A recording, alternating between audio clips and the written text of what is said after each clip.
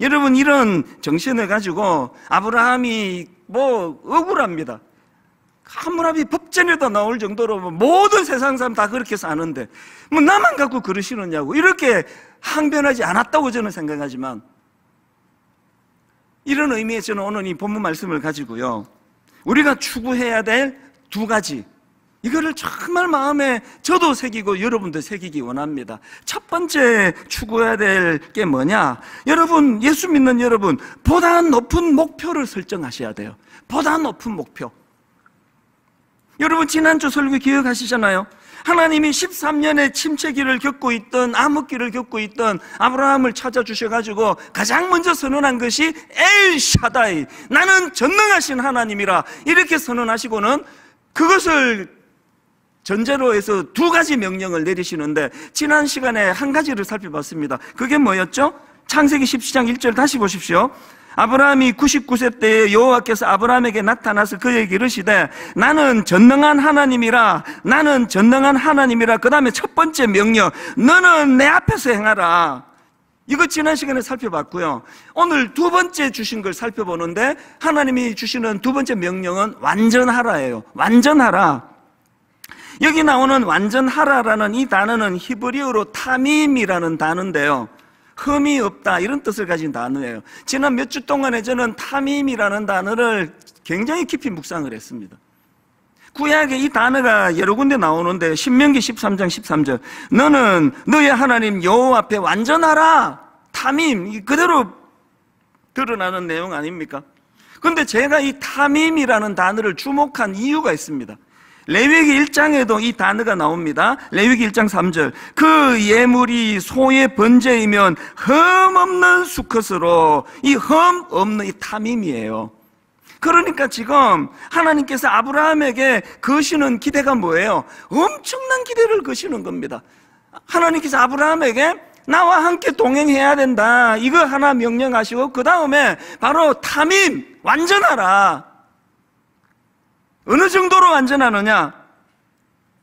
하나님 앞에 제사 드릴 때 가장 귀하고 아름다운 흠없는 재물을 필요로 하듯이 하나님 앞에 그런 존재로 살아가거라. 하나님의 기대치가 엄청 높다는 걸 알 수 있는 거 아닙니까? 그리고 아브라함에게 주신 하나님의 꿈이 너무나 크고 놀랐기 때문에 이런 큰 꿈을 가진 사람다운 그런 아름다운 목표를 갖고 살아야 되는 거, 이걸 주님이 요구하시는 거거든요. 제가요, 이, 이 부분을 묵상하다가 내 되게 부끄러운 장면 하나가 불쑥 떠올랐습니다. 오래 전입니다. 그때는 이제 저 우리 드림센터도 없을 때예요. 그래서 요 뒤에 이제 사무실이 조그만한 게 있었고요.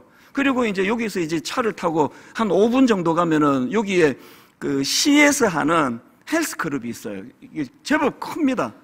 그리고 이제 시에서 하다 보니까 뭐 엄청 쌌습니다. 제 기억으로 한 그때 3만 원인가? 4만 원인가? 그렇게 이제 저렴하게 하고요. 그리고는 당연히 이제 뭐 트레이너 이런 사람 많이 둘 수가 없으니까 아주 젊은 여성 트레이너 한 사람이 계속 이제 다니면서 자세도 교정해주고 이제 이런 일을 했던 상황인데요.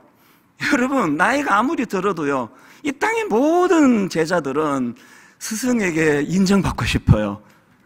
그래서 이제 제가 이거를 하면서 계속 그 트레이너가 오 자세가 좋은데요. 그러면 막 기분이 좋고 난 그 선생님께 인정받고 싶었어요.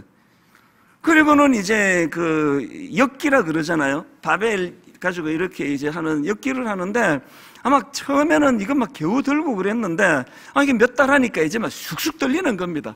이거 들 때마다 난 우리 선생님 안 지나가나 어우, 많이 늘었네요. 그 얘기를 듣고 싶었는데 안 하더라고요. 그런데 찬스가 왔습니다. 그날도 막 너무나 씩씩하게 제가 엿기를 드는데 그분이 지나가다가 딱 한마디 했어요, 저한테. 근데 그 답은 내가, 그, 그분의 말은 내가 원하던 말이 아니었어요. 이렇게 말하는 거예요. 아, 근데 아저씨는 무게를 왜 맨날 고급 갖고 그렇게 드세요?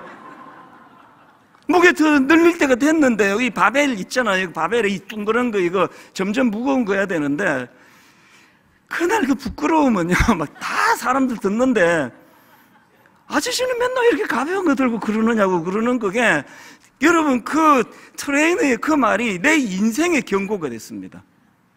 종종 떠올려요. 영적으로 전 그게 메시지거든요. 오늘 여러분 여기 예수 그래도 좀 오래 믿으신 여러분 그날의 그 장면을 상상해 보세요.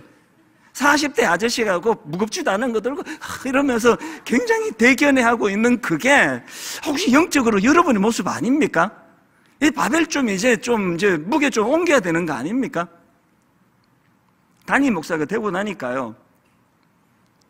청소년 사회 갈때 시절은 꿈도 못 꾸던 어마어마한 이런 시련이 시험이 엄청 많더라고요. 그럴 때마다 전 그 트레이너 생각을 해요.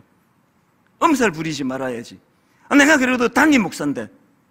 그러고 나니까 그, 이, 이, 이 시험 앞에 뭐 여러분들 좀 알잖아요. 뭐 별의별 모함 다 당하고 뭐 수치 다 당하고 해도요. 별로 어려움 없이 지나갔습니다. 왜? 어, 이제 하나님이 이 바벨 무게를 옮기, 옮겨주시나 보다. 여러분, 우리 모두가 하나님 앞에서 이제는 그 초등학교 애가 그 집사님 집은 다 되는데 우리 집은 왜 안 되느냐고 하소연하는 그런 단계는 넘어서야 될 때 아닙니까? 그래서 여러분, 정말 같이 꿈을 꾸시면 좋겠습니다. 여러분, 우리 보다 높은 목표를 설정하자고요. 보다 높은 꿈을 꾸는 자들이 반드시 겪어야 되는 보다 높은 목표를 가지고 그렇게 달려가는데 그 보다 높, 높은 목표가 고린도전서 11장 1절에 나옵니다. 사도 바울의 위대한 목표. 내가 그리스도를 본받는 자가 된 것 같이 놀랍게도 사도 바울의 목표는 그리스도 닮기예요. 그뭐 이찬수 목사 닮기 뭐 한 이틀만 하면 될 거예요. 성경의 인물 닮기 조금 힘은 더 들겠죠. 그런데 여러분 바벨의 무게를 달리해야 돼요. 내가 그리스도를 본받는 자가 된 것 같이 너희는 나를 본받는 자가 되라. 저는 이 구절을 갖고 막 휘두르고 싶지 않아요. 막 우리 부목사님들한테 너희는 나를 본받는 목사가 되라. 한 번도 그런 말 해본 적 없고 생각해 본 적이 없습니다. 그러나 우리 새아이에게는 당당히 이렇게 말하기를 원해요.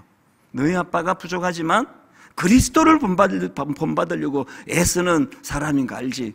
너희는 그런 아빠를 닮았으면 좋겠어. 이런 고상한 목표를 가지고 달려가게 되시기 바랍니다.